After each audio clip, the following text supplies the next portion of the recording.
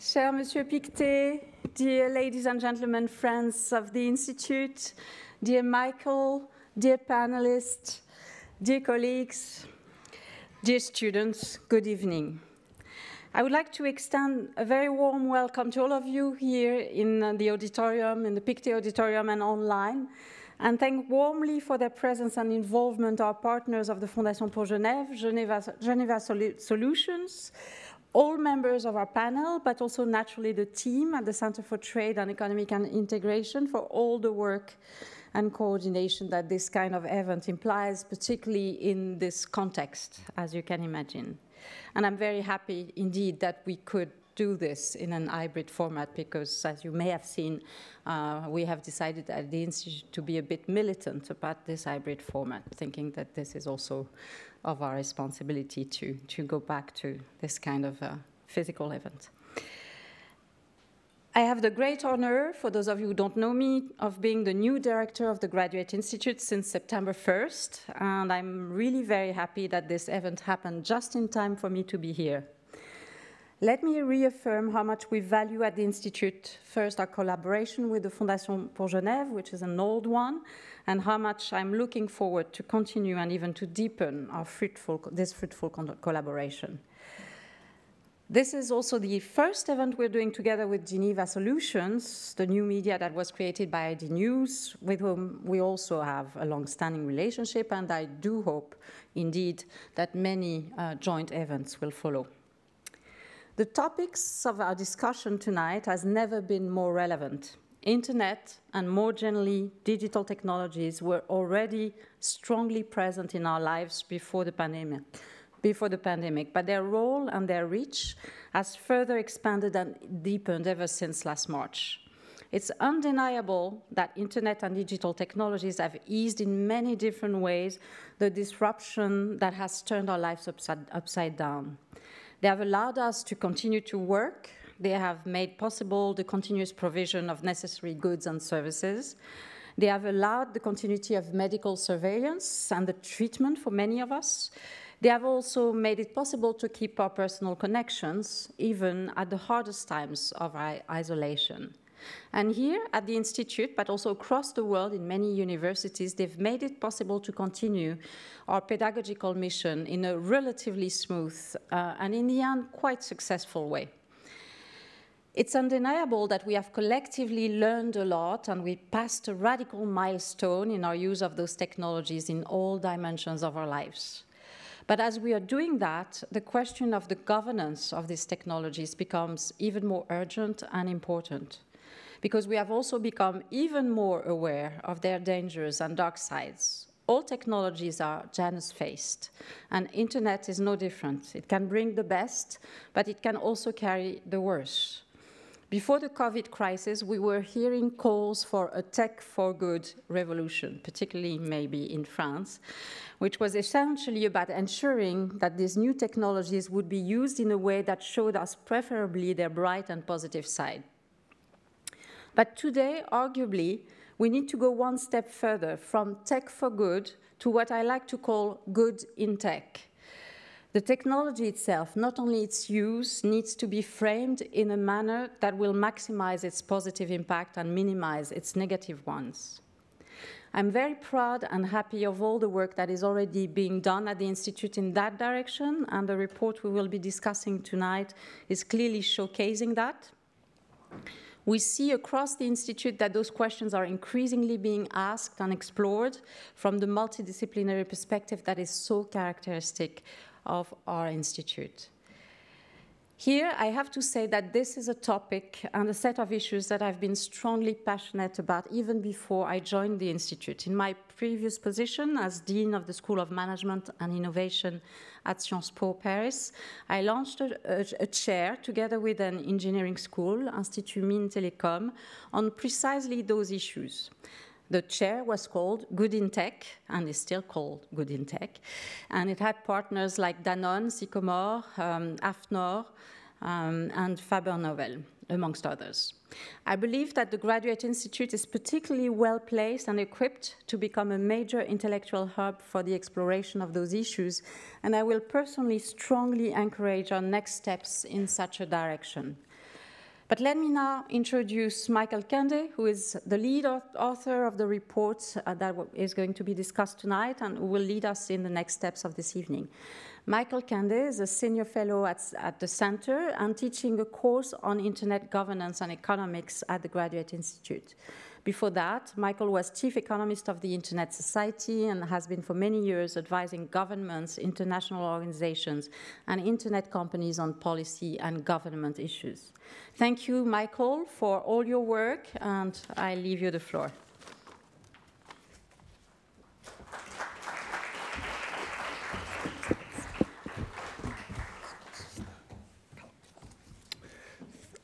Well, thank you very much for that uh, kind introduction. Um, and thank you, Monsieur Pictet, the Foundation, the Fondation pour Genève, the Center for sponsoring the report and for organizing this event. And thanks everyone for, for showing up. It's, uh, it's nice after all this Zooming to see people in person for a change. And of course, not everyone could, could be here, so we're going to be getting used to these hybrid events now. So just by way of introduction, the um, Fondation recently started a series of papers about the state of affairs in, uh, in international Geneva and the centers of excellence. Uh, somewhat uh, prophetically, the first one was about uh, global health that came out on, in January before our current situation. And now that, as, as we just heard, that we're more reliant on the internet than ever, the second one is coming out on how to govern the internet, and there's a chapter in there about how it's been the internet and internet uh, governance in, inter in Geneva has been responding to the pandemic. By way of background, there was a lot of resistance originally to the idea of governments in particular, but any kind of governance of the internet. It was really viewed as a separate space. This is a particularly um, vivid example written by one of the founders or one of the pioneers of the internet, John Perry Barlow, in Davos after apparently a couple of glasses of champagne, and very strongly saying to people, the governments, we don't want you here, we don't need you, stay away from the internet in this declaration of the independence of cyberspace. But clearly, as everyone started going online, as more and more happened, as things shifted online, that was not tenable, that the governments would stay out of, the, uh, stay out of regulating and, and being involved in the internet. And sure enough, at the, just a few years later, at the World Summit on Information Society here in Geneva in 2003, uh, which was convened by the ITU under the patronage of then Secretary General uh, Kofi Annan, a group was set up to start thinking about internet governance and came up with this definition nearby in, at the Chateau de Bossey in, in Vaud. And that definition pretty much holds to, till today. And I think the good news is that government, well, it was inevitable governments would be given a role, but they weren't given a primary role. They weren't given ownership. They were given a respective role depending on the forum and the issue that was being addressed. And this multi-stakeholder model of internet governance has held basically through today, and it's very well suited to a lot of the strengths of international Geneva, as we will see. Here in Geneva, the three uh, UN pillars are basically the foundation for internet governance. Uh, the three pillars of the UN being development, peace and security, and human rights.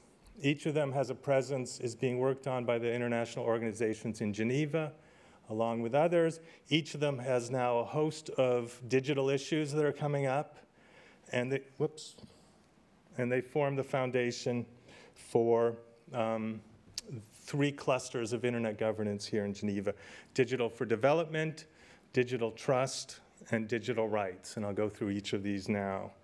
Um, digital for development has traditionally always had two tracks. One is to close the digital divide, which is urgent. We're still just about, just at over 50% of the global population online. So this is a, clearly a critical issue. But it's also recognized that it's a means to an end. Internet access is for getting online, but the, the purpose is to be able to do things when, once you're online. So it's always been recognized that the broader purpose of giving the access is, in this case, to help meet uh, development goals. And that's been true since the Millennium Development Goals of 2000 that led to the ITU having a critical role in uh, developing the ICTs and the, and the WSIS and, and beyond, and that's certainly true also for the Sustainable Development Goals that came out in uh, 2015 and are being worked on through now. Here in Geneva, there's a big focus of work on developing the digital economy. Uh, that includes e-commerce work, uh, getting people to be able to trade online, um, and that's being done at UNCTAD and ITC and other places. Um, once more and more uh, online sales start taking place, they're going to be cross-border and digital trade has to be addressed, and that's being done at the World Trade Organization, the WTO. Um, is doing a lot of work, exploratory work now on, on uh, starting to think about incorporating digital trade. And once people start going online, work is going to be changed, and the future of work is another issue being addressed at the ILO, the World Economic Forum, and here at the center, there's a new, uh, there's a new um, thinking ahead uh, for social change that's looking at the future, future of work as well. So that's the digital for development track. Uh, the next is digital trust, and there's kind of three overlapping elements of digital trust. The first, and clearly the one that, that occupies a lot of us, is cybersecurity protecting our data from being taken and used uh, against us or for other purposes. Um, and that's part of it. And then you have cyber peace, which is to prevent attacks in the first place, state sponsored attacks and others. Um, and that's been a big, a big element now of um, uh, digital or internet governance here in Geneva. And the final is even when our data is not being attacked, someone is controlling it, someone is using it, uh, and maybe abusing it in ways that we may or may not know. And so the third element is ethical behavior. Ethical behavior towards our data is coming up increasingly within digital trust. And all of these organizations, and certainly more, are addressing it from the oldest in international Geneva, which is ICRC, followed by ITU, to the three new ones at the bottom Cyber Peace Institute, the Trust Valley, and uh, the Swiss Digital Initiative.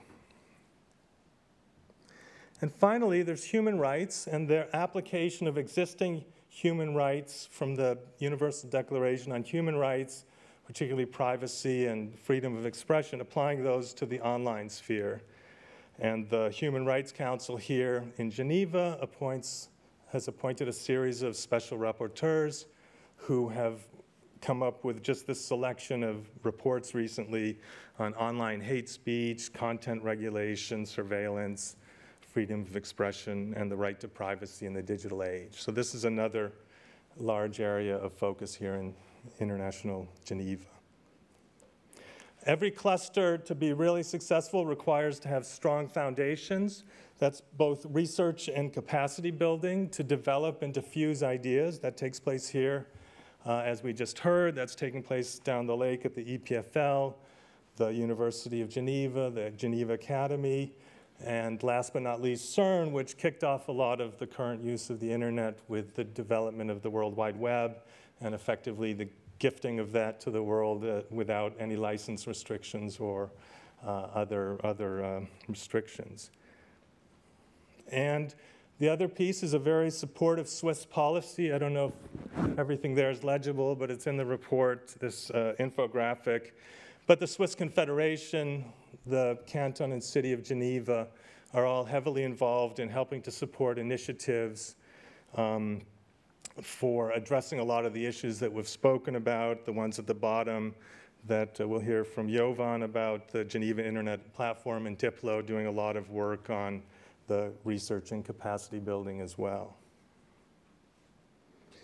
In terms of an assessment, clearly International Geneva is a natural home for internet governance with all the international organizations, the permanent missions, NGOs, and others. But it's not the designated home. Uh, it can clearly take place elsewhere. And the work needs to be done to refresh, update, and, and uh, apply International Geneva to new challenges. One issue that, that that we focused on in the report was that a few of the key stakeholders in this multi-stakeholder model are missing. Uh, internet companies play, of course, a key role in the internet. They create the networks, they operate the networks, They collect our data, they're responsible for our privacy for that data. And other than uh, Microsoft and Jean-Yves Art here, uh, there's really very little internet company presence um, on a permanent basis in Geneva, and that would inform greatly a lot of the discussions that take place here. And on the digital rights side, the civil society organizations that are really specialized on online digital rights are, are largely absent. They'll come in for meetings, but there's no permanent presence. Um, going, looking forward into the future, it's clear that internet governance is going to become more proactive. The laissez-faire period of governments largely allowing things to take place and then reacting when things didn't work out is probably coming to an end. No one's going to wait for the, the next wave of cybersecurity attacks on the Internet of Things for what artificial intelligence can do without taking proactive steps. And Geneva should also take proactive steps to be part of, uh, of that new phase of internet governance. A few recommendations with the asterisk that these were written pre-pandemic and clearly some of them will only apply post-pandemic. Um, but Geneva can start to attract the missing or the other stakeholders with maybe a, a co-working space for visitors so that they can network and have a space to work. Uh, that could take place if there's room in the Maison de la Paix. That could take place across the tracks at the biotech, uh, campus biotech, where a lot of the new initiatives are. And civil society, when I spoke to them, a lot of them complained or mentioned the costs of coming here, the cost of staying here, um, and other costs, if those can be addressed, would help with that. To help to showcase what's happening in Geneva and contribute to the discussions, uh, there have already been a new series of co annual conferences on e-commerce that attract 1,500 people. Uh, the WSIS Forum is about 3,000 participants. There's a new AI for Good initiative at the ITU that attracts many participants when it was in person. And the two others that could take place would be an annual digital trust conference to address the key issues um, and leverage the work that's taking place here and a, a, digital rights conference to really highlight that work, which could be paired with the, the forum on business and human rights that takes place anyway every year here. So that would be a way to increase the prominence of those clusters. Uh, there could be more outreach highlighting what's already happening in Digital Geneva or some, some name and, and, and going to key conferences and saying that this is a good place to come and talk. And just in, in closing, there's been a, a lot of fragmentation of the internet, content filtering issues, artificial intelligence, and others. These are all important international issues that Geneva is very well placed to make a contribution to, in particular, as we heard from our new director, to maximize the positives and to minimize the negatives. And I'm looking forward to the discussion as we take these ideas further. Thank you very much.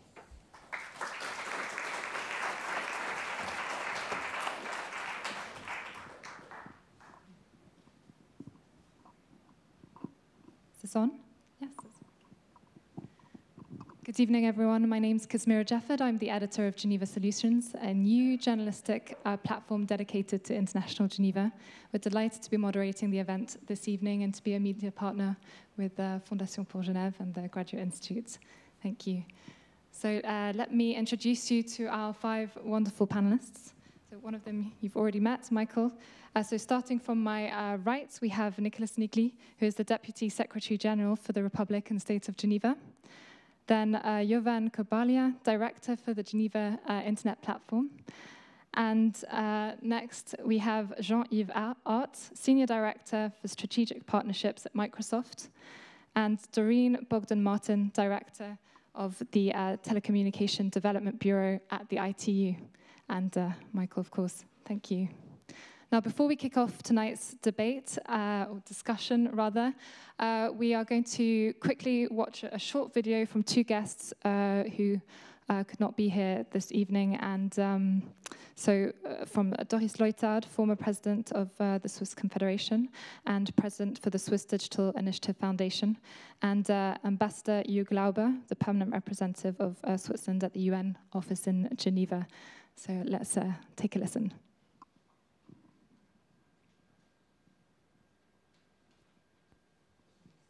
Dilhis, thank you very much for your time today. If you could just start off by telling us what are the most important aspects of internet governance and why.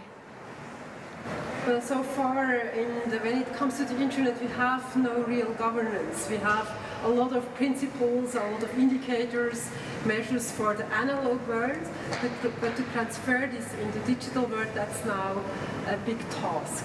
So we need a new governance which is uh, accountable for the digital world, and that's why we think Geneva would be the right place to do this. We have a lot of UN organizations, we have a lot of embassies, we have a lot of universities, think tanks, NGOs, so actually an ideal spot uh, to be the hotspot also internationally for the governance of the internet. But uh, this needs also to be uh, showed. We must have concrete projects, we must have activities from Switzerland, from the canton of Geneva, from Geneva, from NGOs or other institutions, which show we have already here an ecosystem, we can enlarge this and be valuable for the whole world. Switzerland is neutral, is in between of Europe, so we could also in this a little bit separated world and different views be uh, the right place to show we have a good attitude, we have values, we have ideas, let's come and talk and solve these issues on the internet, on the new governance here in Geneva. We have the platform, we have the skills, we have the right people, so we are open to everybody. Geneva is the hotspot for international governance for the internet. Geneva has um, every chance to become the leader as a hub of internet governance uh, because digitalization and the internet are not an end in itself, in themselves. They, they, are, they are a means, they are a, an instrument for all those organizations uh, that deal with specific issues like health, like environment, like human rights, and all these organizations are here because internet and digitalization has to be at the service of these organizations and experts. Geneva is the right place uh, to be. So, uh, picking up on, uh, can you hear me? Yes. So picking up on uh, some of the comments made there in in, uh, in the video, Geneva has all the attributes to become and to be, uh, as it already is, uh, a hub for internet governance. But that doesn't come without its challenges. And as uh, Ms. Leuthard said there, we have no real uh, internet governance as we speak. So Michael, my first question to you to, to kick this off is, can we group uh, internet governance, as it were, here? Can we create one hub? And uh, is Geneva or any other city, for that matter, setting itself up for an impossible task? Well, I mean, I think I'm a little more optimistic than, than she was, I think, in terms of what's already taking place here. And she's, uh, with her Swiss Digital Initiative and Foundation, added another piece to the puzzle. Um, so I think, of course, every every place is going to have work. And if you look at other cities in the world that are do, that are working on internet governance, some of them have international organizations like Geneva. That would be Vienna, Strasbourg, Paris, and New York, particularly with all the security work that takes place at the UN. It's not competition, but they're clearly doing some, but I don't think they have the depth or breadth that Geneva has in these areas. And then you look at the capitals, uh, Brussels and um, Washington, a lot of internet governance is taking place. It should be national. But as we're seeing with uh, what is happening with TikTok and Huawei, it has international ramifications and it's starting some fragmentation. And I think Geneva, with its neutral um, reputation and neutrality, could be a very strong place for a lot of these issues that are bubbling under the, the TikTok and Huawei uh, disputes to be resolved.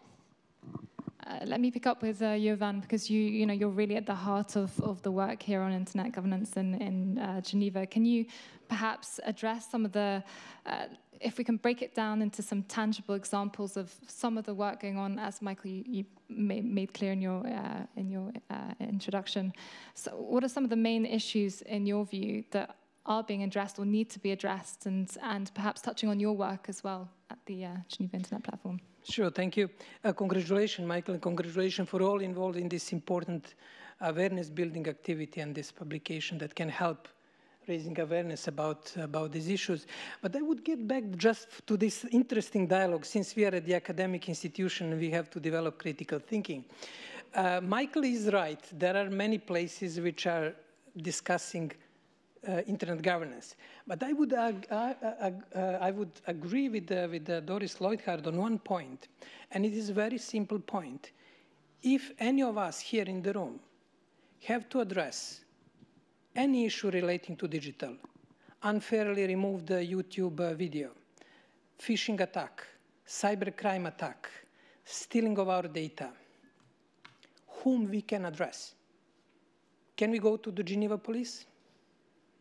Can we go to the cantonal police? And I would say Switzerland is probably one of the most advanced countries. We cannot address the simple issues, and this is a point where governance is failing. Because what is the basic role of governments is to deliver on the social contract. Let me add a bit of Rousseau and Hobbes and others. Social contract is government ensures us uh, security, freedom, market, democracy. In exchange, we pay taxes, vote, and we are good citizens. In this deal, and I'm simplifying but not oversimplifying, in this deal when it comes to digital, governments cannot deliver its role and its promise. And this is the major issue. And in, to get to the old uh, Kissinger saying, whom I call when I want to call Europe, whom I call when I want to deal with my digital issues, and very, it could be very personal, or companies, or countries. There are no places. And this is what we at the high-level panel of digital cooperation try to do to find the digital home for humanity or that phone number that you can pick up and call, and then get what, what Michael said, to numerous places that deal with data, with e-commerce, with the standards and other issues. That's, I think, I would say underlying issue, and we are failing on it, and we are failing big time. Now, what are the, back to your concrete question, in addition to data, AI, cybersecurity, I would pick up two questions which are increasingly important. One is standardization. Standards are becoming soft politics and they are shaping AI, data, cybersecurity. And I guess next year standardization in digital will raise in relevance. The second topic is digitalization of traditional policy fields. You have now 30 or 40% of WHO agenda dealing with digital, with WTO.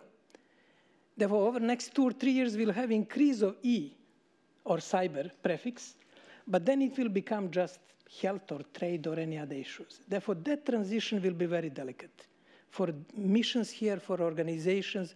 Therefore, increasing irrelevance, but then becoming just a policy issue, health or trade or humanitarian. I would, I would just for students here and researchers, I would put these two issues high on the radar, standardization and digitalization of traditional policy issues. I think this is a good moment for Doreen to, to step in here. Uh, uh, when we talk about who to call, who, who we can go to, what is the ITU's role here and, and your, your take on, on these comments by Jovan? Uh, thank you and, and congratulations, um, Michael. I, I think it's a, it's a great, great, great report. So um, so I'm not going to talk about internet governance or the definitions. I think Michael laid it out well. I'm going to talk about the perspective of connectivity. And as you mentioned, Michael, half the world being connected. So we have 3.6 billion people that are not connected. And I think Geneva has a unique role that can be played uh, in, this, in this connectivity space.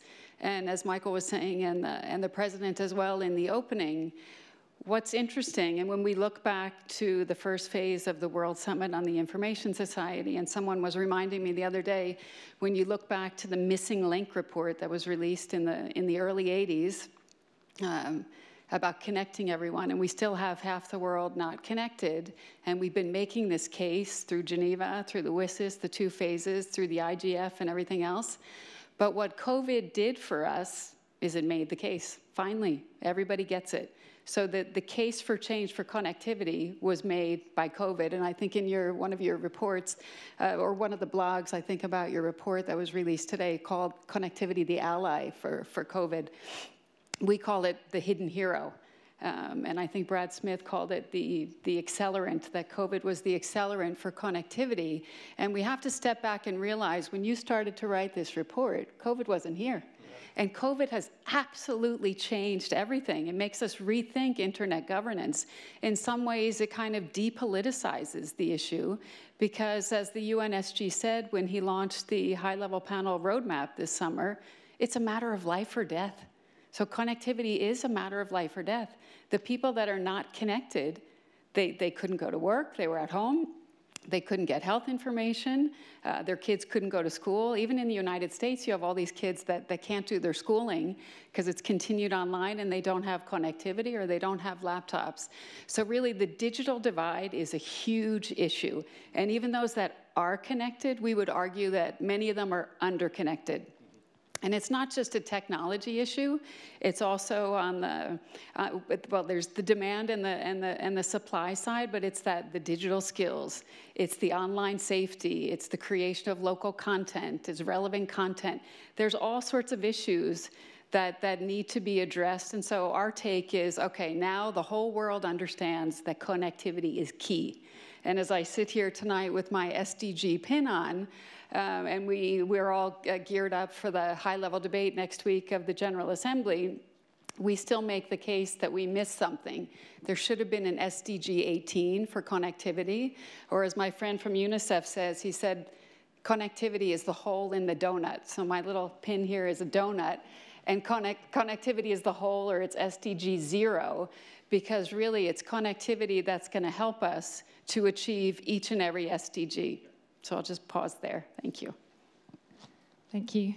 Uh, Nicholas, if I can uh, change tack a little bit and, and, come to you to talk a little bit more about um, projects going on here in uh, Geneva. You're one of the founders of uh, Trust Valley, which was uh, set up in June 2020 uh, on the back of this increased reliance on the internet, this need for connectivity. Can you tell us a little bit more about the project and, and what your goals are there?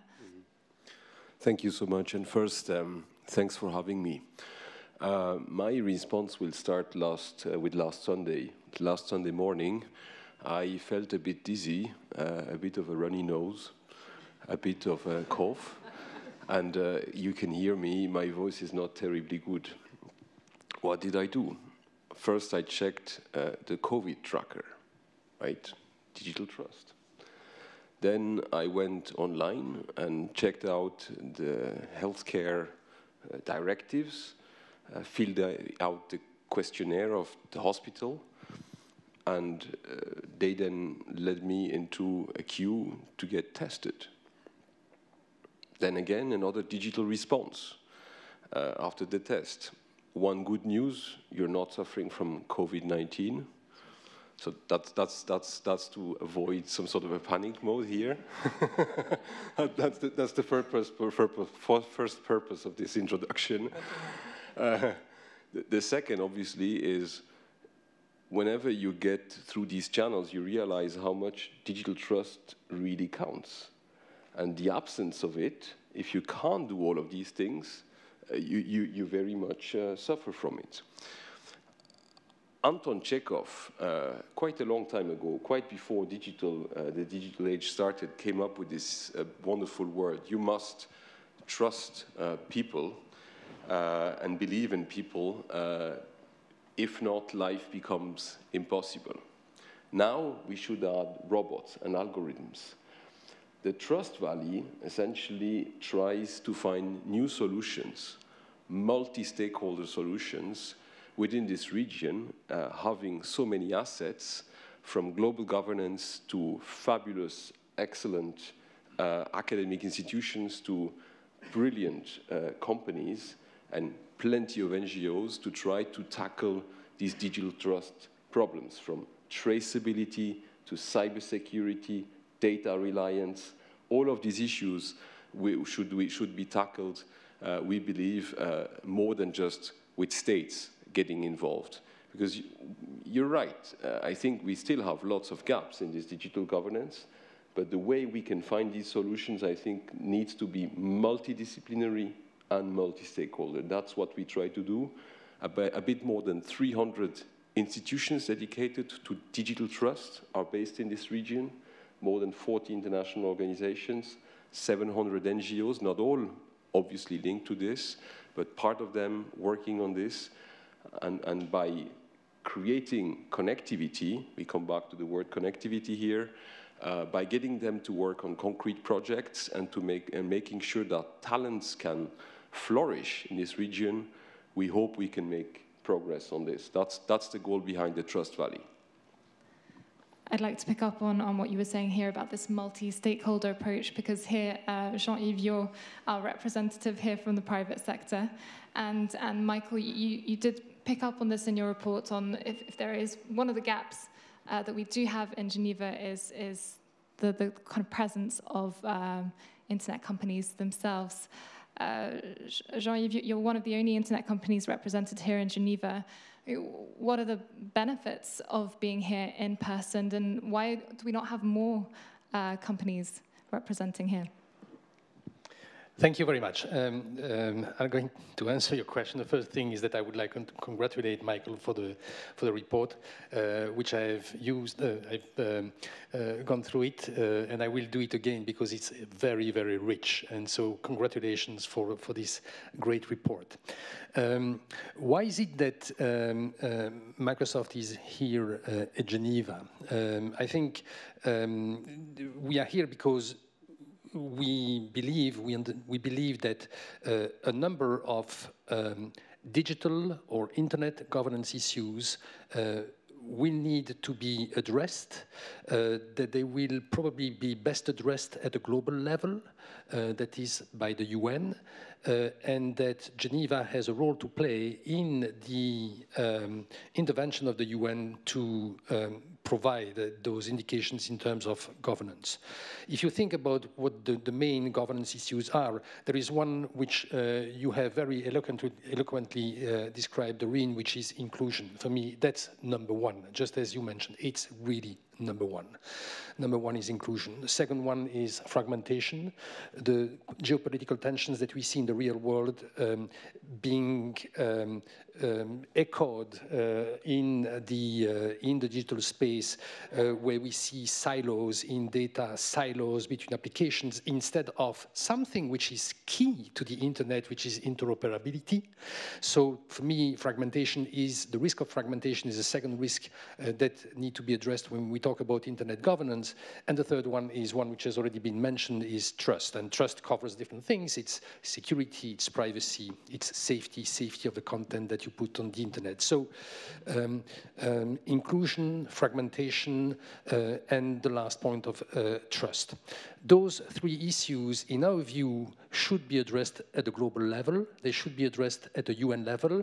Uh, I think we are pleased, uh, at least speaking my own name, I am very pleased to see that um, the Secretary General has um, commended a report on digital cooperation. What is it that the UN have done? And, and Jovan knows the report very well, uh, as many others here that have uh, contributed to the report. This report now has a roadmap, a number of recommendations, uh, and think it's, it's, a, it's a great um, a great progress uh, in terms of governance to see the UN taking a role.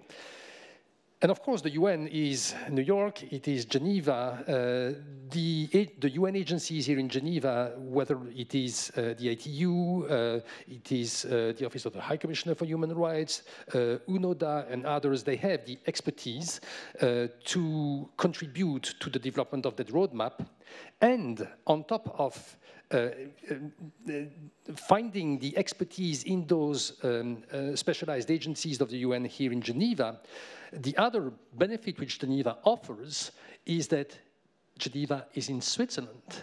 And therefore, Geneva benefits from the neutrality of Switzerland, which uh, I think you um, mentioned, uh, Michael, neutrality of Switzerland, and also the standing that Switzerland benefits uh, on the international scene. And I think that these are very important elements when you try to find a place where you can have this cooperation which is needed, this multi-stakeholder cooperation, those negotiations, where can they take place? Where can they take place better than here in Geneva, where you have the expertise of the international agencies, of the UN agencies, in a country which uh, is a neutral and benefits from a pretty high standing uh, on the international scene. So for me, this is, um, th these are all good reasons why Geneva is the right place. Now, of course, we also need to recognize that there are challenges. Um, UN may be a challenge. Things are happening outside of the UN sphere. Think about the Paris call on cybersecurity think about the Christchurch call on safety, on the content which is put on the internet. And these are developments which are taking place, which are there, and that I think um, UN agencies at some point need not necessarily to replicate, but to also integrate and to, to, to work with uh, those, those um, kind of extraneous developments that are taking place completely outside of uh, the international system. I mean, that more than cities, it is this process which should be brought into the UN system to the whole extent possible. And uh, Michael, we, you talked about this resistance to, to governance that historically kind of pre preceded today, but uh, are you, are you seeing more um, cooperation from the private sector to, to uh, more involvement, more engagement uh, with the international community, with NGOs, um, to engage on, in this debate? Well, I think that the, I mean the current techlash has clearly uh, impacted the companies. All of the the major Facebook and the others are putting out statements about privacy, rethinking the way they're looking at it. Uh, after the Cambridge Analytica, Facebook and the others maybe too slowly, maybe not by November 3rd, but they're starting to look at what's happening on, on the elections. Um, so I think it's, it's, slowly, it's slowly coming, and it may be that self-regulation is viewed better than government regulation, but there's certainly more interaction, and some of it, I, I think, is no longer uh, necessarily a choice. As I was saying, the governments are definitely getting more involved. They're not going to sit back and watch um, watch these things replicate, and then when you know self-driving cars come, not have enough security in them. They've already started to push back on you know, the Libra cyber currency, whose association is based here. So I think there is a shift, and I think that willingly or otherwise, and I think some companies are willing and others aren't, uh, the companies are starting to, to move along in this space to, to develop the trust and work with the others. And uh, Nicholas, I can see you nodding here. I was wondering if you had wanted to add to, to that point.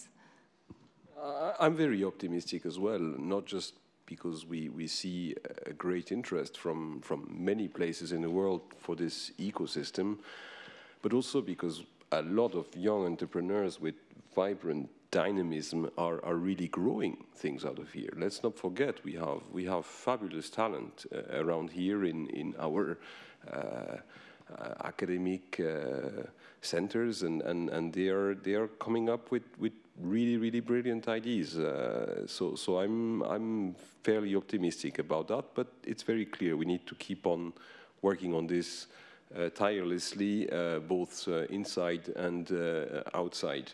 But I'd like to come back to, to this point uh, around connectivity. I think this is, this is a fundamental point.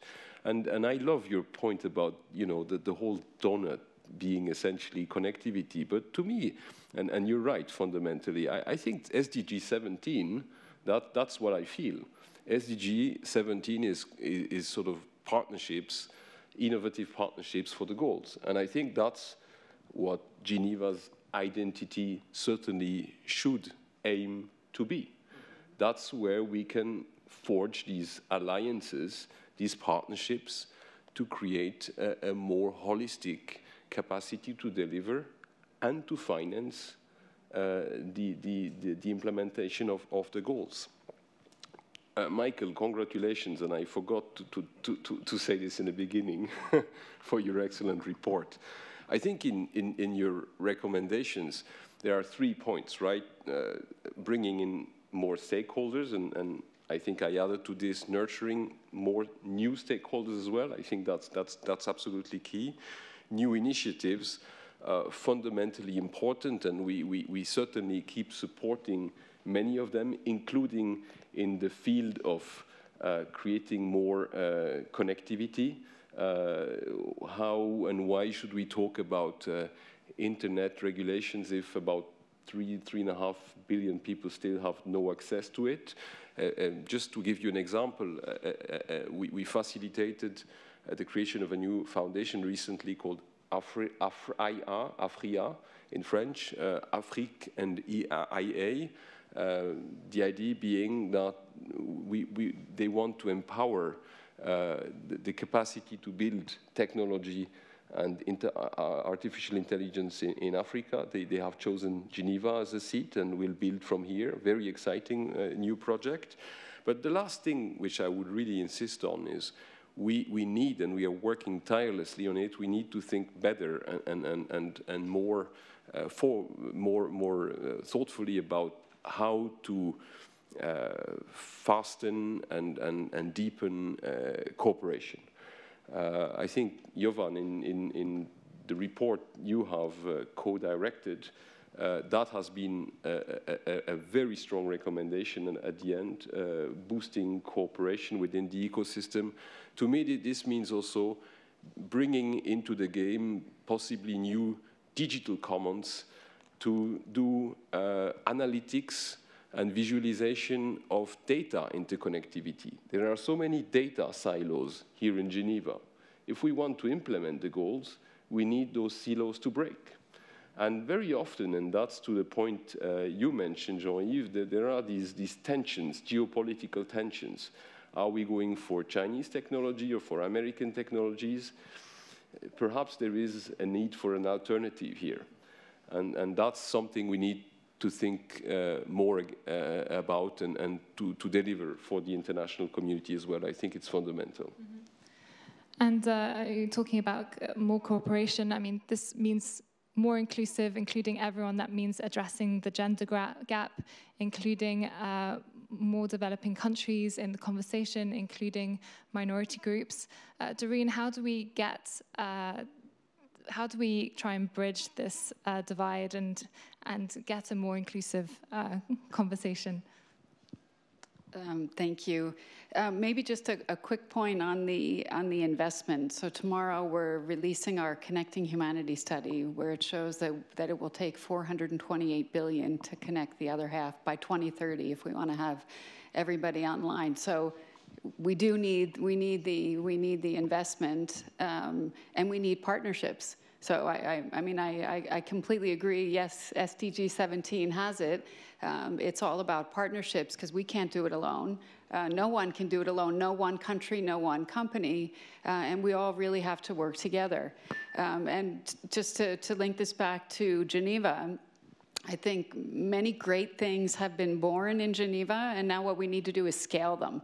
So when it comes to gender, for example, we have, of course, the, the gender champions that were born here, and I think that's really moved the needle uh, on gender issues, and it helped me personally push this issue in my own organization, which was not particularly doing well in terms of uh, female participation and, and representation.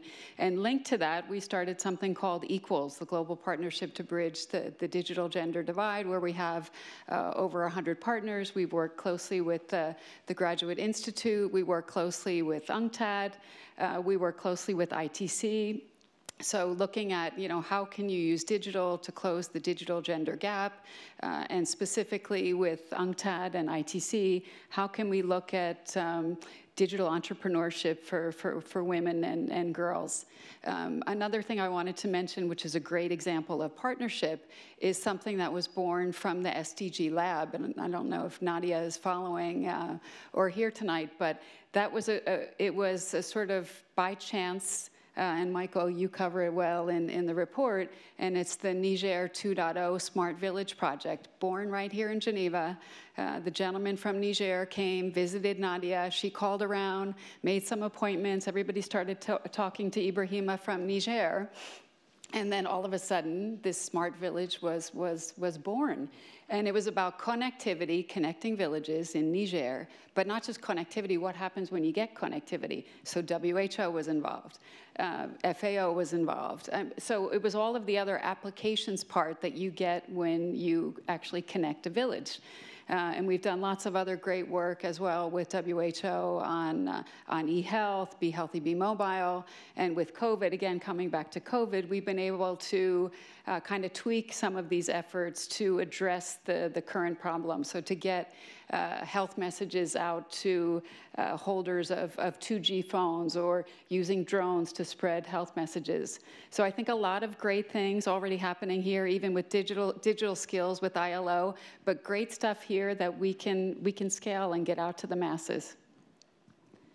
And speaking of other uh, other initiatives here, uh, uh, Jean-Yves, Microsoft is is one of the uh, sponsors of the Cyber Peace Initiative um, here, which recently opened in Geneva. Can you talk to us a little bit about that? Um, what are the issues it's addressing, and and how does one go about reaching a, a consensus and finding consensus in this space?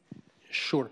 Um, so the Cyber Peace Institute uh, is uh, an NGO um, that uh, Microsoft and a number of uh, other partners, um, in particular uh, the Hewlett Foundation and MasterCard, these were the three funding partners initially, uh, set up in order to address um, a number of cybersecurity issues. Um, and um, it has essentially three missions. one is a mission to uh, collect information uh, about the cyber attacks uh, and those that are pretty harmful cyber attacks, uh, collect information and give information about uh, the impact of those cyber attacks, and that's what we call accountability, but it's not accountability of the owners, it's more creating a sense of accountability uh, for those cyber attacks. Um, uh, second mission of the Cyber Peace Institute is a mission of assistance, assistance of, uh, in particular, civil population that have been affected by cyber attacks. And the third one, the third mission is a mission of advocacy, um, bringing the message and more visibility to the message that those cyber attacks which have um, harmful effect on systems and on on individuals uh, need to stop. So these are really the three missions uh, of the Cyber Peace Institute.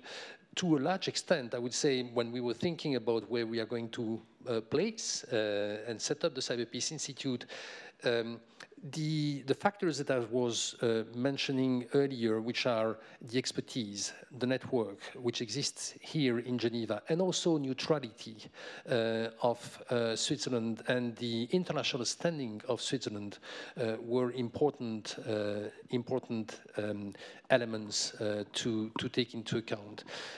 so for me, these are really important things. I, I would like, if you allow me to also come back to one point that um, has already made, which is how do we uh, bring people to Geneva? I mean, that is one way to look at it. Another way to look at it is how is it that Geneva goes to the stakeholders that have to contribute to that? And I'm mentioning it because we have seen recently some states and which I think may be very effective. Some states, some countries um, uh, appoint tech ambassadors uh, Denmark has done it, France has done it. And if you try to think a little bit about the role of Geneva, what you want to do for Geneva, what you want to do for Switzerland, again, as I mentioned, from my perspective, and one of the reasons why I'm here is because we believe in those reasons, Geneva is the center where you can do a lot of internet governance.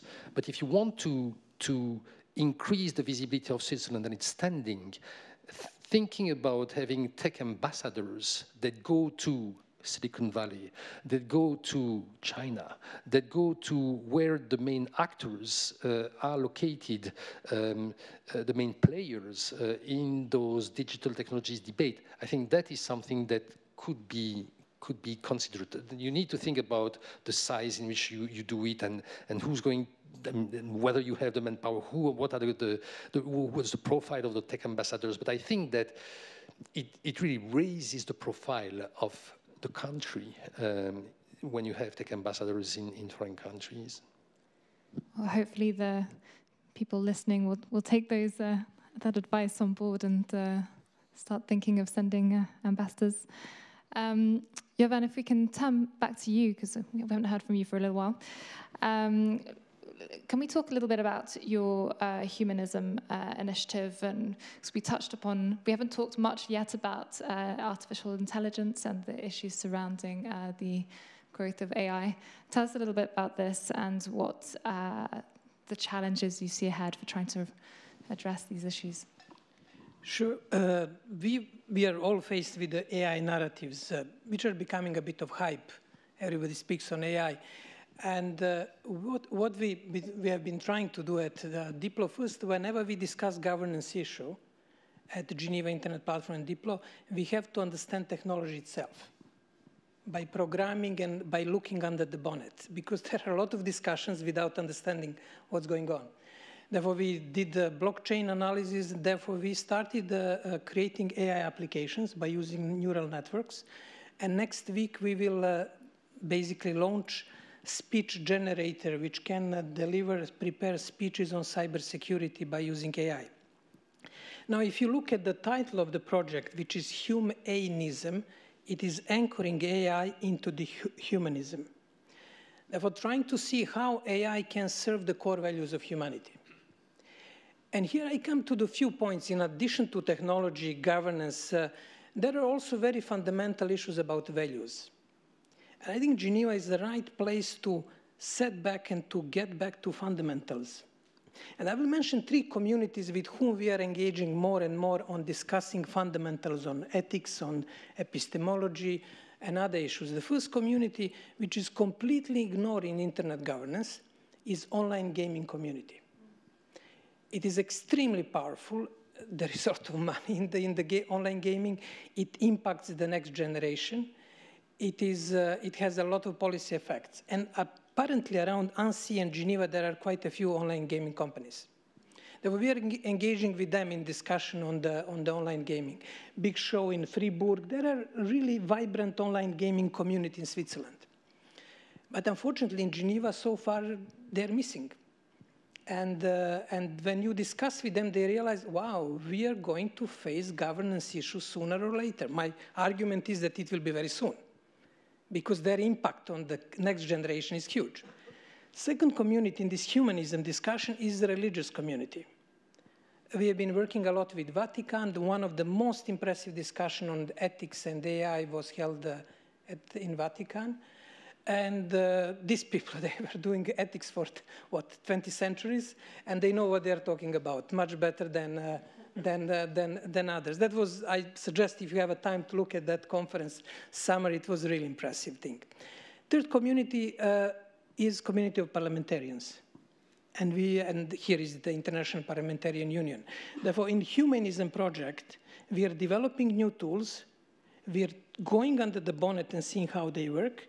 And based on understanding how they work, we are developing governance principles and engaging well, engaging of obviously traditional international organizations, but putting a lot of efforts on online gaming community, on religious community, and parliamentarians. Uh, we've talked about some different sectors there, but it'd be great to, to get to break down and get a little bit uh, more stuck into some specific sectors. For example, uh, global health. We don't have any representatives from the health sector here tonight, but uh, uh perhaps Michael or, or Doreen could talk a little bit about um, digital, digital, rights in the field of, of health uh, as it becomes more and more uh, de democratized. It's, it's you know, an urgent issue.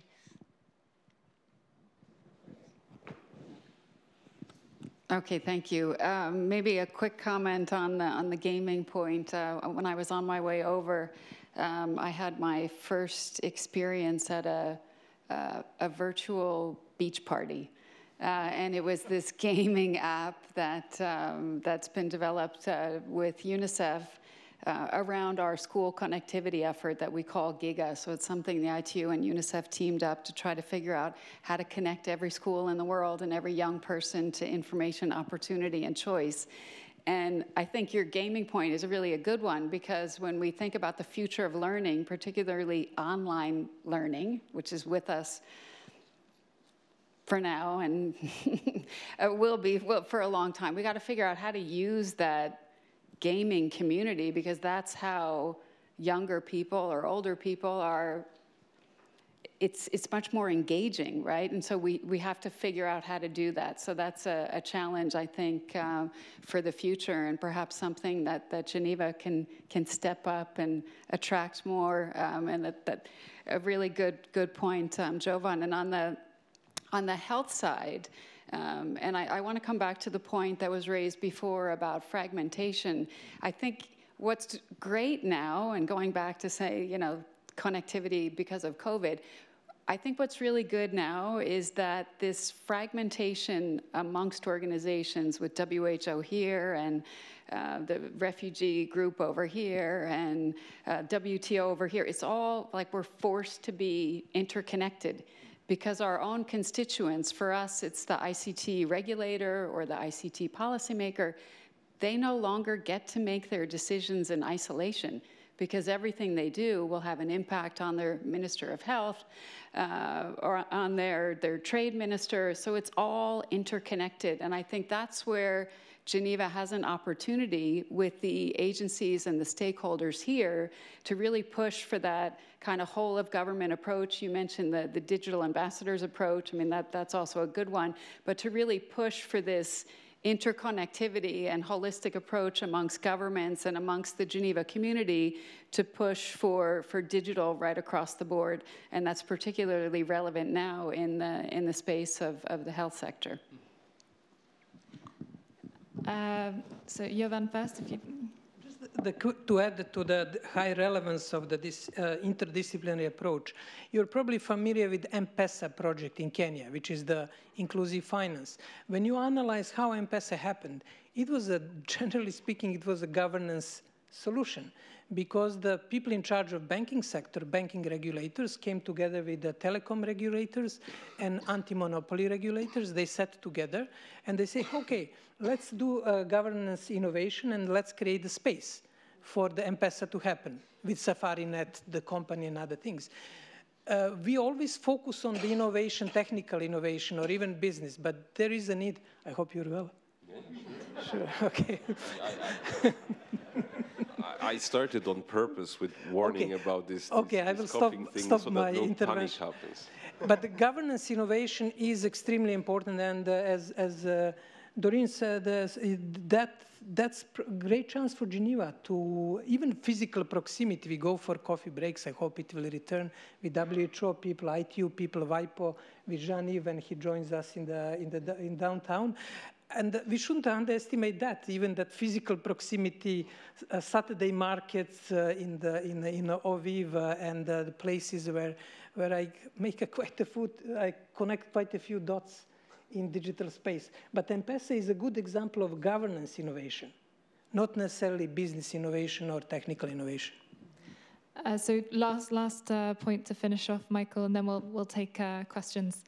Yeah, on, on, the health issue, I think that um, if you've been following these contact tracing apps, they really distill a lot of the issues that we've been talking about. Because on the one side, there's a lot of positives, if someone gets a, a you know, a positive COVID test, they can put something in and let everyone know that they've been in proximity with. And five, ten years ago, we might have said, oh, this is great, but I think now that there's we're in the middle of this techlash, there's a lot more skepticism.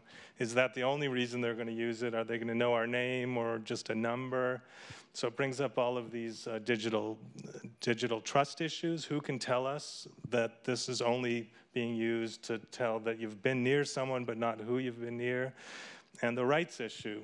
And I know there's been work uh, at EPFL on the contact tracing. I think, Jovan, you had a session on contract tracing and human rights. And it kind of distills the whole space that we're at. It would be great if we trusted it. It would obviously be good. And, but uh, now there's a little more skepticism than there was a few years ago. Great, well, thank you very much. And now we'll, we'll turn to the floor for some questions. Uh, if you'd like to raise your hand, if you'd like to ask the yes, gentleman in the middle. And a microphone is coming your way.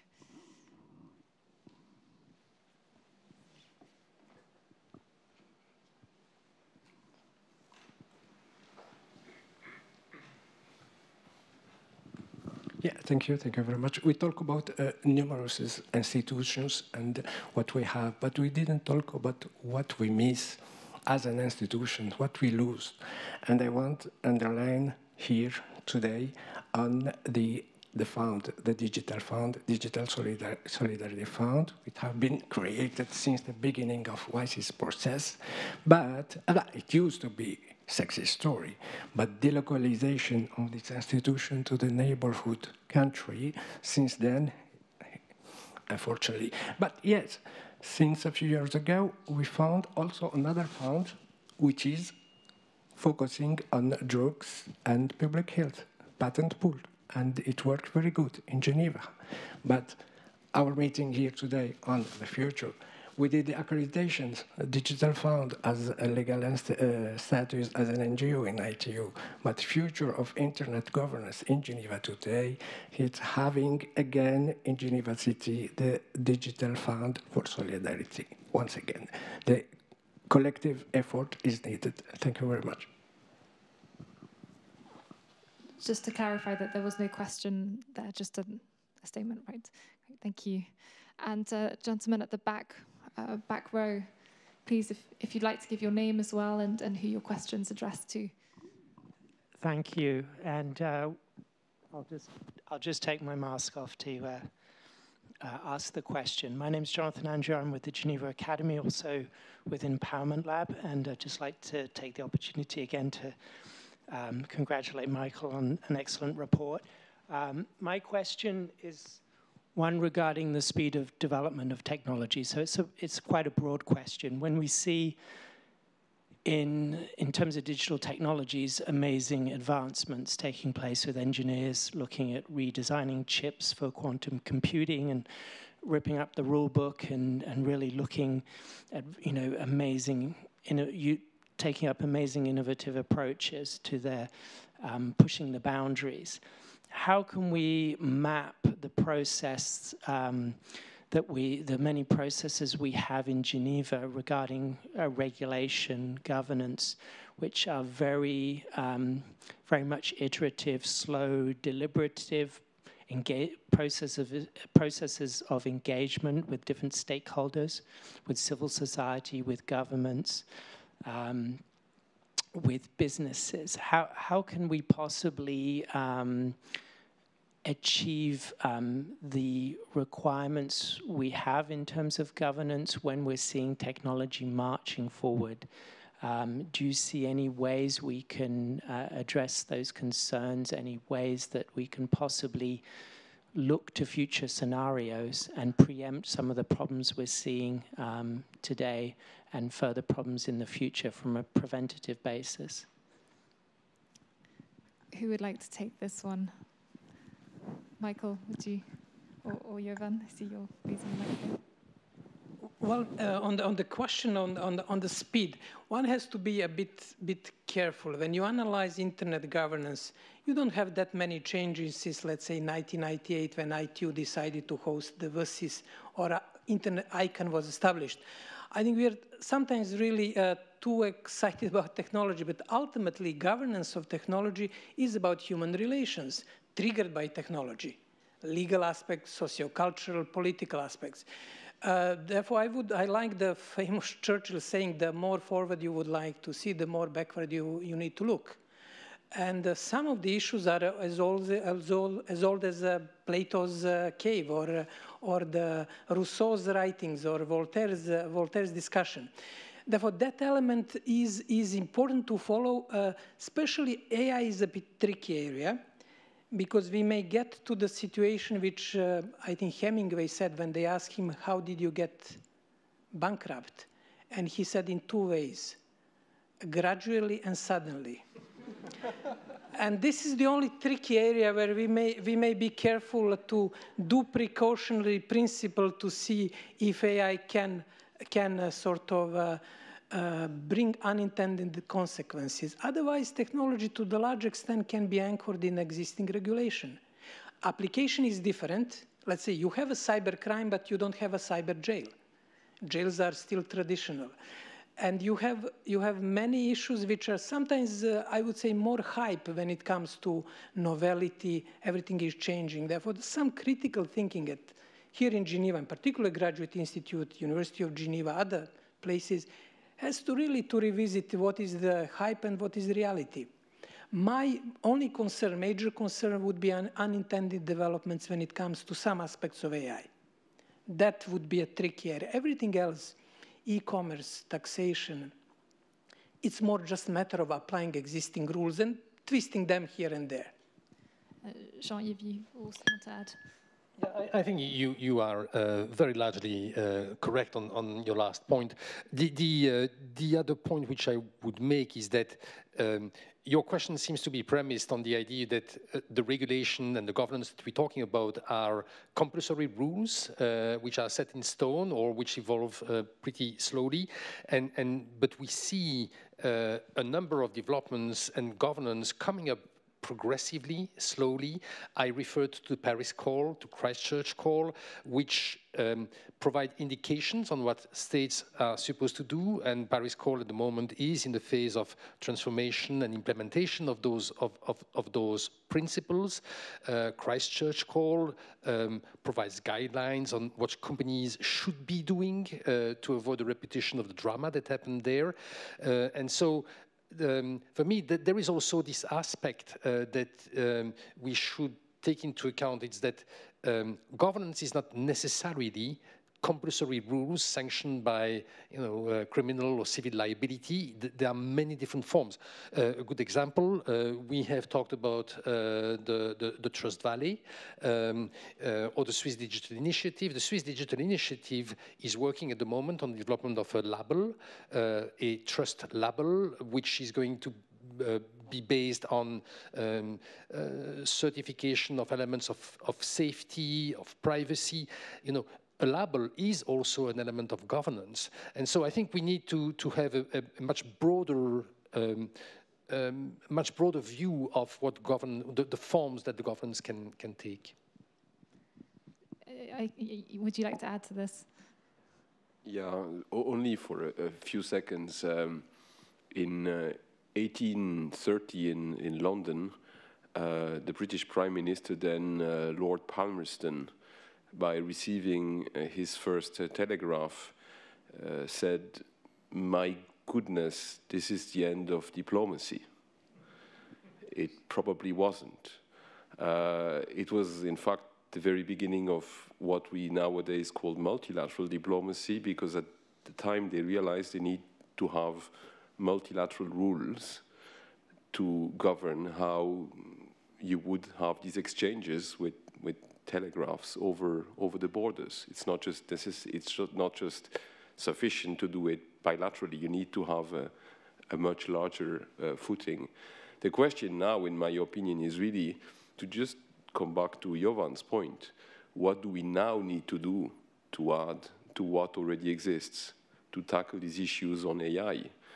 According to some of the latest studies, we nowadays uh, use sometimes without being conscious of it.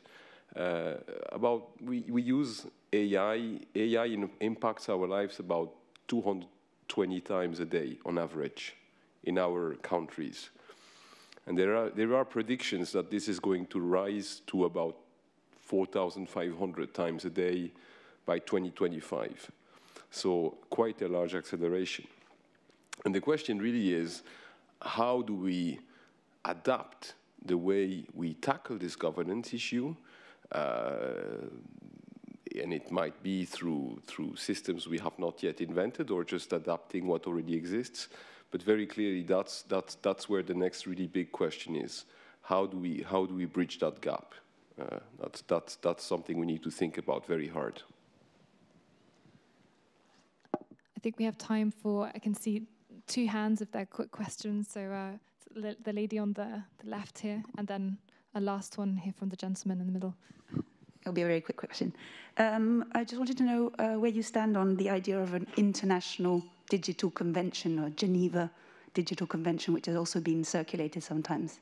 Just on this idea of uh, something that would be created here that sets the rules on so many cross sections, on trust, on so many things.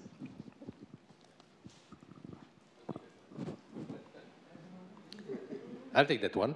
Uh, so, so this uh, proposal for a digital Geneva Convention is something that um, in fact, President Microsoft, uh, President Brad Smith of Microsoft uh, um, proposed, uh, I think in 2017.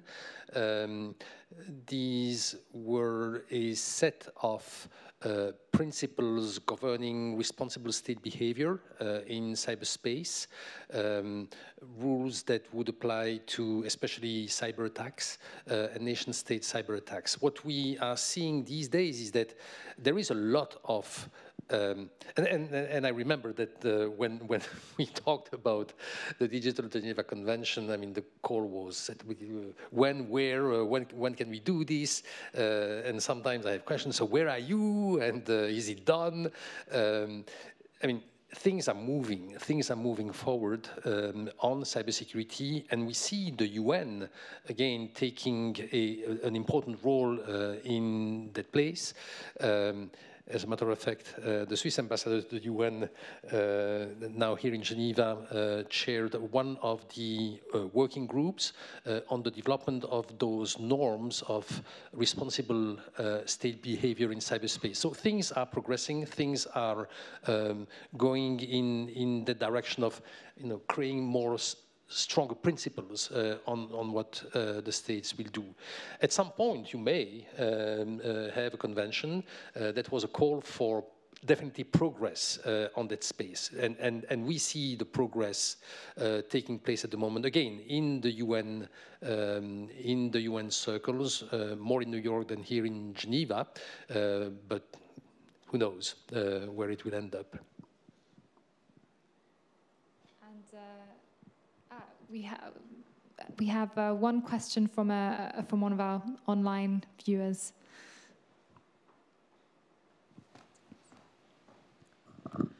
I'm just going to rely the question from EPFL Innovation Park to Jovan.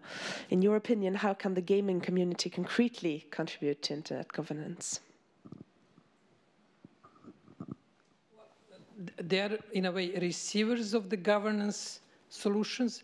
Their business model will depend on governance, like Facebook is now asking for governance and the others. Therefore, their social impact on next generation, their financial might, will obviously raise the question of governance. Therefore, they are, let's say, on the receiving side. They have to uh, solve the problem of security. They have to solve the problem of uh, uh, data protection and privacy. There are numerous issues which are related to, to the gaming community. That's the first point. The second point, they can be active contributors in a way that they can, uh, through what uh, Doreen mentioned, they can start developing new application in online education. They can also, also even in governance, to popularize some of these issues, to make them closer to people. Therefore, they are missing actor in Geneva and in governance community in general. And uh, there is an interest. They are seeing that it is governance issues are coming to them. They cannot ignore them for too long. Therefore, why not to engage them? both as the contributors and people who will uh, voice their concerns. The only regulation is WHO regulation, which they have a um, dependency uh, as a sort of risk factor, health risk factor of the dependency, and that's the only regulation so far. But more is coming, and in that sense, in the, that sense, uh, why to wait uh, somebody to knock on their door? Why not to be proactive, to engage, to develop proactive solutions and to contribute generally to inclusive and more creative solutions from online learning to governance to engagement of elderly. You have so many areas where gaming community can help. And one final one from the gentleman in the, in the middle here.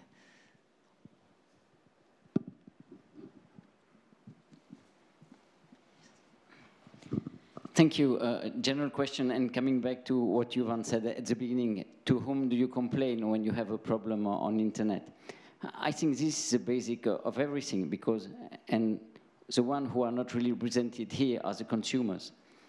And these ones, I mean, I'm not sure that we do all we should do to protect them, I mean, to protect ourselves.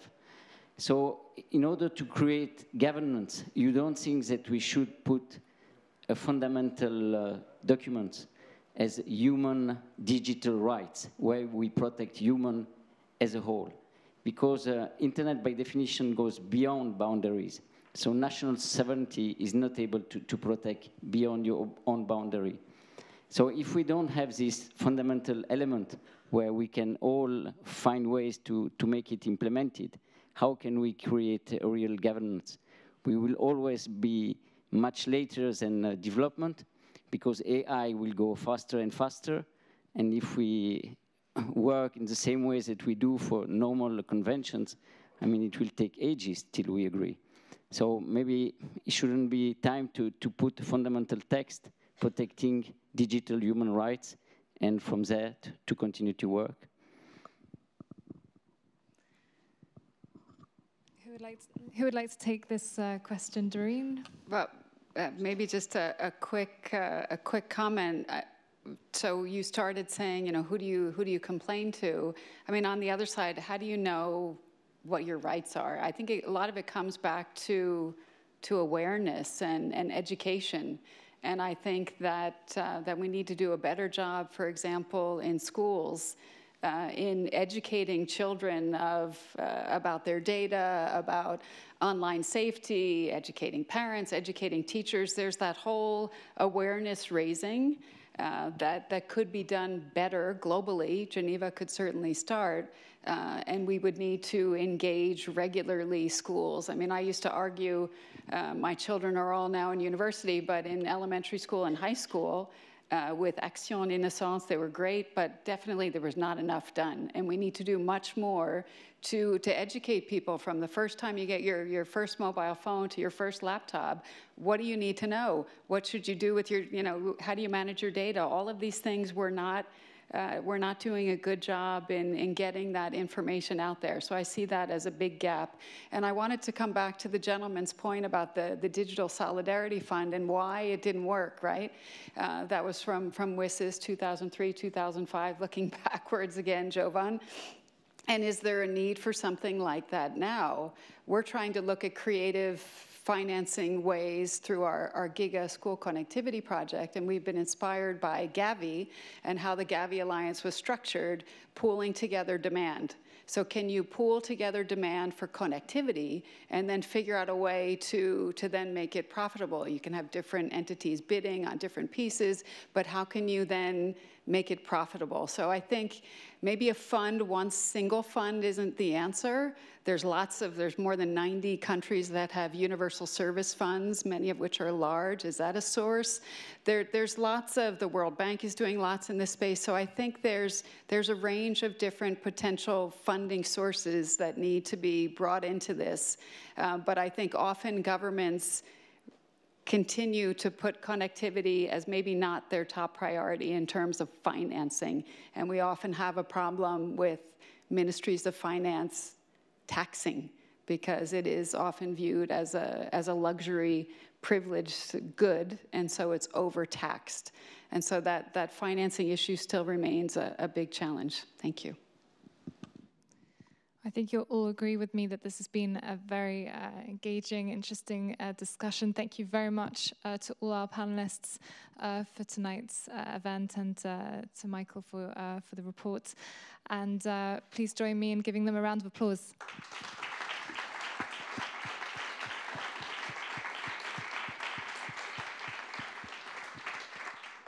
And uh, we'd now like to invite uh, Mr. Ivan Pictet to the stage uh, from uh, President of the Fondation pour Genève.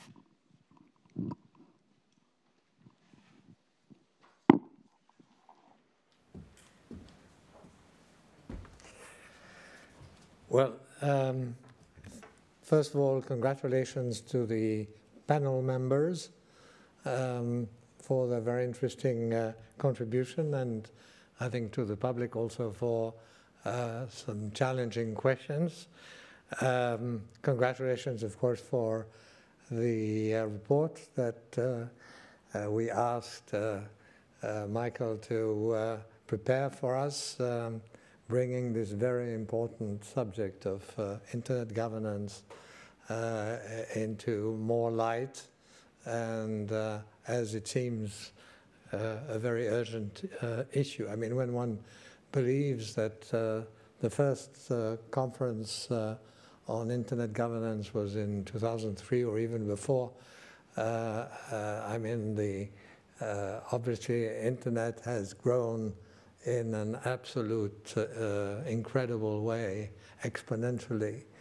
Uh, and today, with very, very hot uh, uh, issues, uh, I'm thinking, of course, about the réseaux sociaux and democracy, about artificial intelligence, about cyber space and security and and many other things, e-trade, e-commerce, e-payments, e-currency, whatever.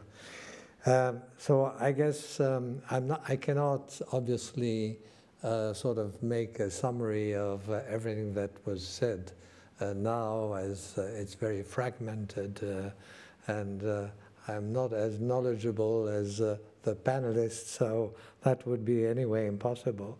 But what I um, see in uh, Michael's uh, uh, report are three or four challenges, and if I just can say a word about it, what I what I feel about them. Um, there are lots of initiatives, as we've heard, in fact, today, but little results, uh, it seems at least. So, although there's been some optimism shown, um, one can't really see out of the report that there is a real drive towards any kind of a solution for uh, internet governance. Um, now, of course, the the UN has created uh, last year a high panel um, on uh, internet governance, and I think Doris Leuthard, uh, our former president of the Swiss Confederation, is part of uh, this this uh, panel. Um, this came after Antonio Guterres, the SG, sort of blamed even Geneva for not doing enough uh, in order to come up with uh, a proper internet governance. Uh, and um, so um, then, of course, the, the Swiss Confederation also has been very active, as, as we have heard. Um, and I'm not going to list, of course, all the uh, things that were uh, sort of uh, uh originated from from Bern, but obviously the the Swiss uh, Digital Initiative Foundation was uh, created in 2019, I think, and this year they came up with a, a sort of report with a roadmap, as we heard during the debate here. Uh, we hope that something will come out of it. We haven't seen yet much, nor have we seen from uh, uh Geneva um, um, sort of initiatives, um, a sort of real sort of combined efforts to arrive to any kind of internet governance. I think one, one obstacle, of course, which has not been mentioned, is that the UN is weak um, its multilateral role is very much challenged, as you obviously know today. And uh, I think before we come up with a revised multilateral definition um, in today's world, in the 21st century, uh, let me remind you that uh, the, the current multilateral system dates back from 1945. Um, I think there will be no major advance from the US side, and uh, I'm afraid uh, that uh, uh obviously ITU is in the middle of this difficulty of um, sort of weak leadership of, of the UN system today. and Switzerland, of course, cannot do much on its on its own, though it's an ideal place, as it was said, to uh, uh, sort of uh, uh have any um, sort of governments uh, uh, on the internet. But I, and I think the second challenge I notice in the Kende report is um, um, about about the fact that we don't have uh, civil society. We don't have all those uh, multi-stakeholders, uh, civil society and private companies, apart from uh, uh Jean-Yves Art's company, Microsoft.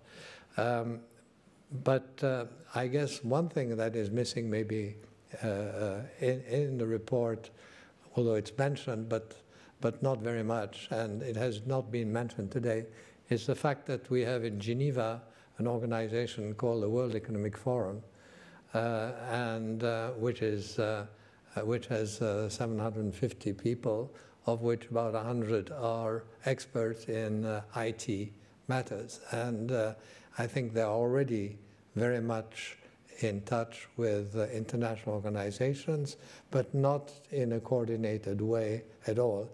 And I guess that uh, we will not be able to bring the Alibabas and the other GAFAs uh, necessarily to Geneva. There is no uh, reason they should establish themselves here, but we could at least make a better usage of uh, the WEF. And uh, I'm sure there could be a much stronger collaboration uh, there, which also would bring maybe civil society um, more to Geneva. So um, the third challenge, uh, and of course that uh, was uh, sort of pointing out to to Marie-Laure Salles.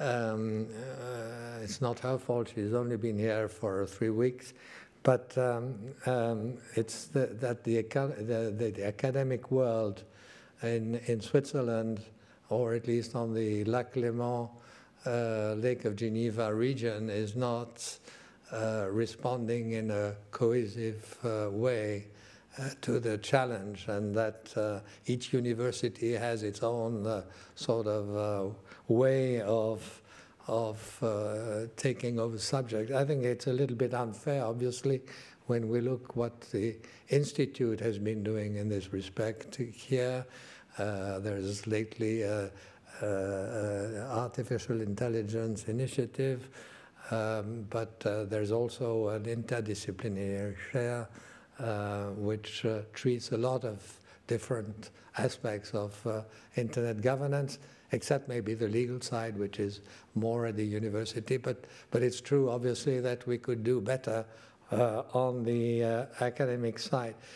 Now, finally, uh, to conclude, um, uh, I can quote maybe uh, Joseph Nye uh, from the Kennedy School of, of Government in the US, um, who was interviewed by the Fondation pour Genève the delegate Xavier Comtesse uh, 10 years ago, and we have a, a full report on that, who was uh, clearly uh, designating Switzerland and Geneva in particular as being the ideal place for conducting, for being a uh, um, uh, the uh, sort of governing, internet governing or IT governing sort of place, because we are the ideal place for the so-called soft power and ideal place to uh, come up with soft laws. So we should, um, we should um, I think it's in our DNA to, we have the conventions of Geneva, we talked about the convention. It's maybe not a good idea in this case, uh, but uh, but I think we we should obviously um, um, uh, talk about uh, about uh, bringing Geneva, making it happen in Geneva, and um, so I think those obstacles are are not um, are not really uh, sort of stopping any kind of uh, advance in bringing a proper governance to the uh, challenge of, uh, of internet. And uh, what we can finish maybe with a word, we, yes, we can. I think somebody else than I said it before me, but I guess uh, that uh, I would like to conclude uh, with this. Uh, I think we really must have an organization, it might be the IGF, it might be another one, that really takes the lead in Geneva in sort of uh, getting results in terms of governance. Thank you very much.